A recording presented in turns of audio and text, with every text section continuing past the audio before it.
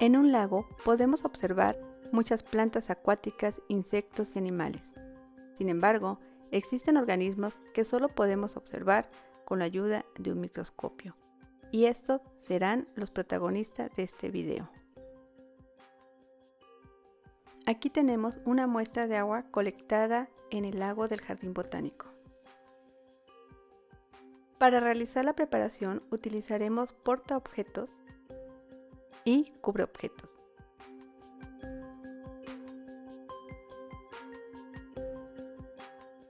Con la ayuda de una pipeta colocamos una gota de la muestra en el portaobjetos.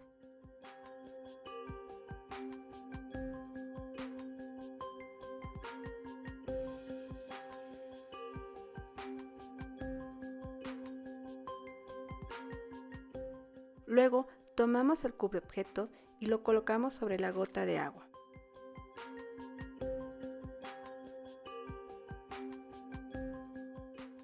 Y listo. Este es el microscopio que utilizaremos para observar los microorganismos. El microscopio compuesto consta de varios componentes, solo haré mención de algunos de ellos. Estos son los oculares. En este modelo tiene un aumento de 10x. Acá tenemos los objetivos. En este caso tenemos de 4x, 10x, 20x, 25x y 63x.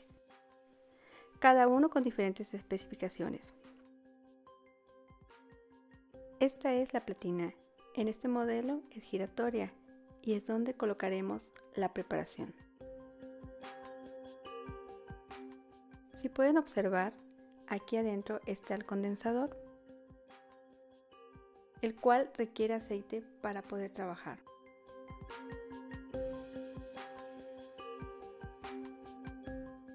Los botones que se mueven al fondo son el micro y el macro. Y esta es la fuente de luz.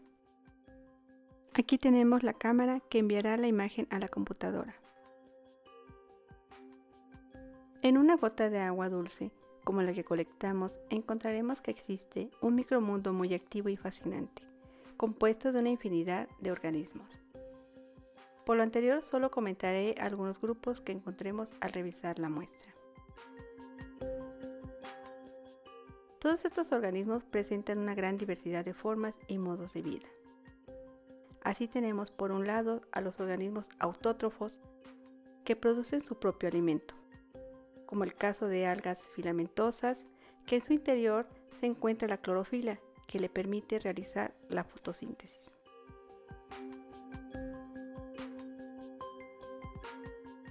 Y por el otro lado, a los organismos heterótrofos, que no pueden hacer su propio alimento y que se alimentan de otros organismos.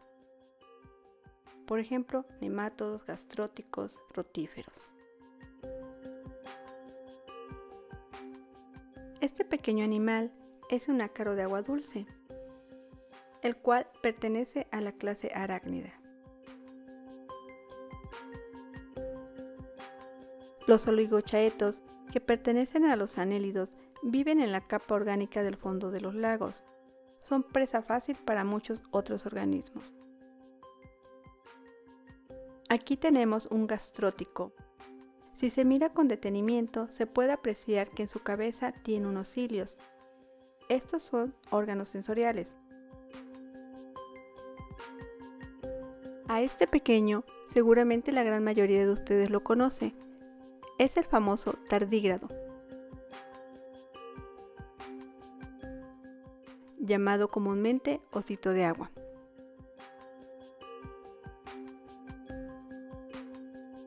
Como podemos observar, se desplaza con lentitud, por eso el término tardígrado, que significa de paso lento. Aquí podemos observar su cabeza, sus cuatro pares de patas. Presenta un cuerpo cilíndrico.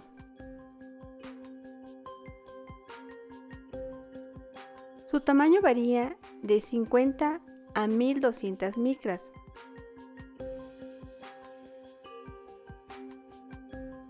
El tardígrado se alimenta principalmente de bacterias, algas, rotíferos, nemátodos y otros invertebrados microscópicos.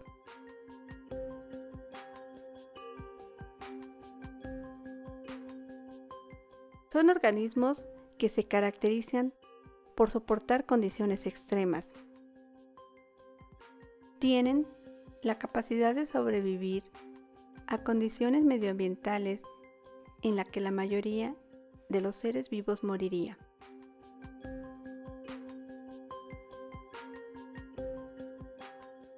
Los tardígrados entran a un estado de animación suspendida conocida como criptobiosis.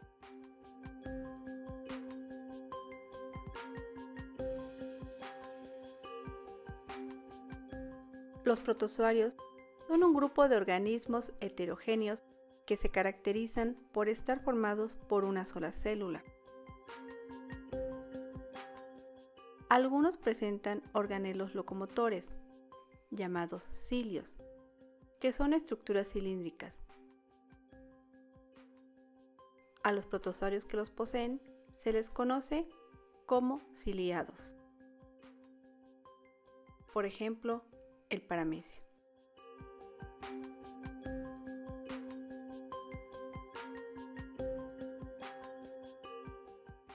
La crimaria es un protozoario ciliado que tiene la capacidad de cambiar la forma de su cuerpo. Esta varía de ovoide a cilíndrica hasta una forma como de botella de cuello largo. Estos cambios morfológicos pueden darse muy rápido. Los movimientos del cuello en varias direcciones es para capturar alimentos, principalmente pequeños ciliados, amibas y flagelos. El cuello tiene la capacidad de extenderse hasta 8 veces el tamaño de su cuerpo celular. A continuación lo podremos ver.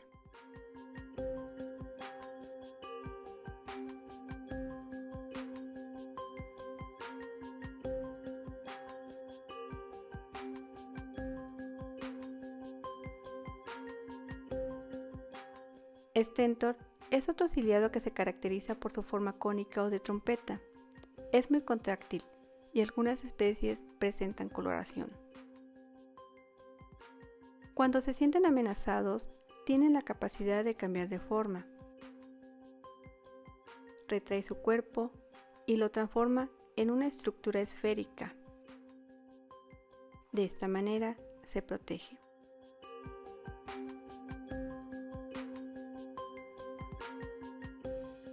Como pueden observar, la velocidad con la que se contrae es muy rápida.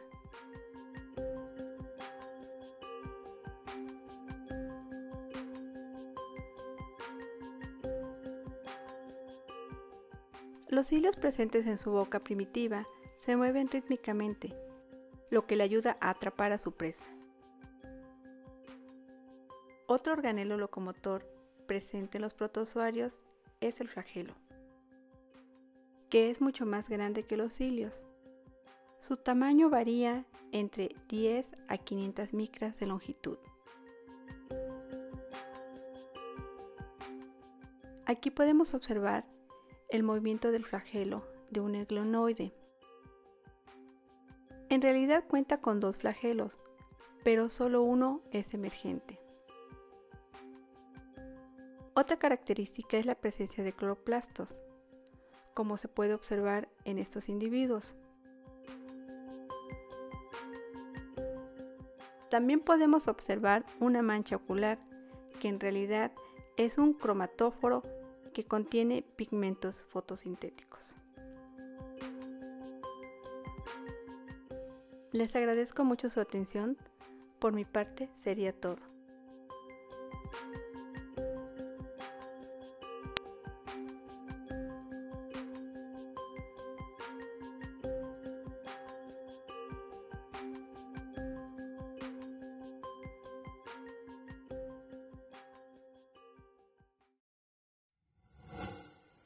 Gobierno de México.